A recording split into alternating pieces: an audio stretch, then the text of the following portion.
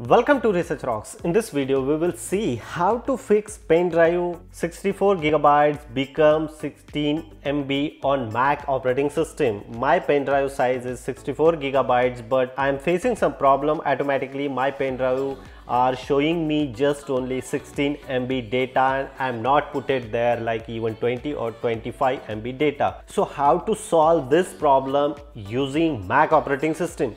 I saw number of video but all videos related on Windows. That point of view I'm making this video and how to solve it using your Mac. So let's start as a demonstration. Before start the demonstration, please subscribe our YouTube channel Research Rock. So simply open here Launchpad and search here disk utility. You click the disk utility here.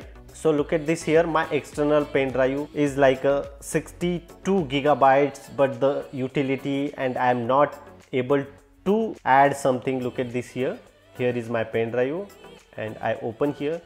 So just only 16 MB gigabytes and automatically some two partition are generating here and each partition size like a same 16 or 18 or 20 MB so how to format properly in Mac? So here you just simply click here view and show all devices.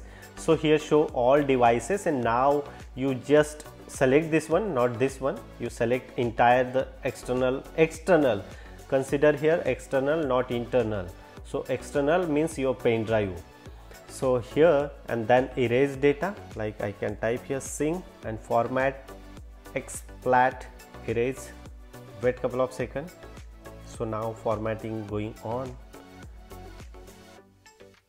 Is done so we can see here now my pen drive size and capacity is like this. So we can open here. Look at this the pen drive size. 62 gigabytes. It's very simple process. So we can copy one of the movie here.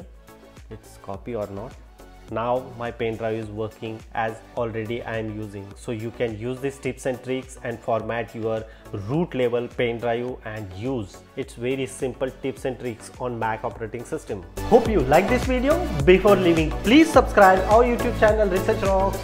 Till then Jai Hind Vande Mataram